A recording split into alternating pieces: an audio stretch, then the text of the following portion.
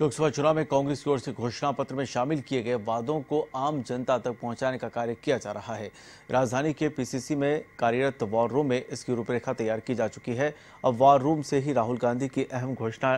न्याय योजनाओं को जनता तक पहुँचाने के प्रयास तेज हो गए हैं।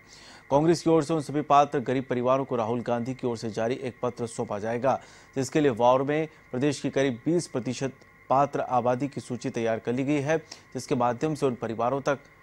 पहुँचा जा सके। संगठन महासचिव महेश शर्मा ने बताया कि राहुल गांधी की सोच को जनता तक पहुँचाने का प्रयास किया जा रहा है।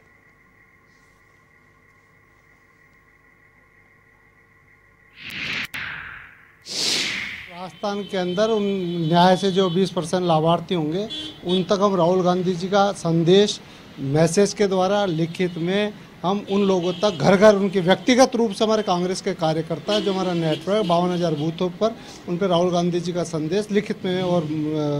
मैसेज के द्वारा पहुँचाने की कार्रवाई करें बिल्कुल हमारे पास सबके, जो हमारा सिस्टम है बावन हज़ार बूथों पे, हमने उन लोगों को चिन्हित कर रखा है, जो जो कि जिनको आज तक लाभ नहीं मिला, जो लाभार्थी होंगे, उन तक हम बाय नेम राहुल गांधी जी का